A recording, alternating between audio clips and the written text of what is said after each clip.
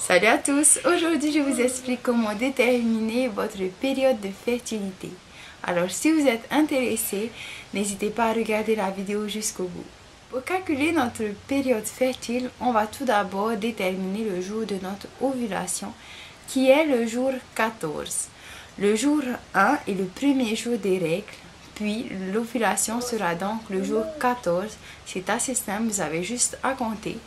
Jour 1, jour 2, jour 3, jour 4, jusqu'au jour 4. Ensuite, il faut savoir que l'ovule a une durée de vie de 24 heures dans l'organisme de Ce n'est pas tout, car pour calculer votre période fertile, il faut aussi savoir que les spermatozoïdes ont une durée de vie de 5 à 6 La période fertile sera donc du jour 8 au jour 15. C'est assez simple à expliquer.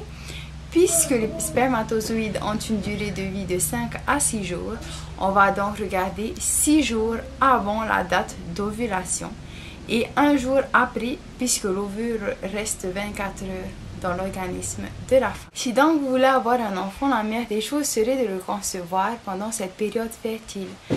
Néanmoins, je vous conseille, si vous voulez 100% de, de chance d'avoir bébé, le mieux est réellement d'attendre la date d'ovulation où l'ovule sort donc, maintenant que vous savez comment calculer votre période fertile, vous pouvez mettre cela en pratique afin d'avoir votre bébé. Gros bisous, bye! Bye!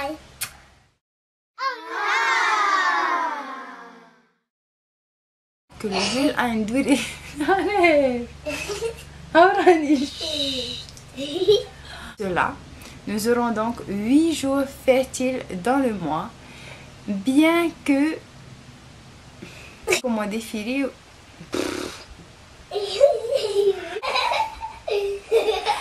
Maintenant que vous savez comment calculer, arrête de rire. C'est bien. Je veux.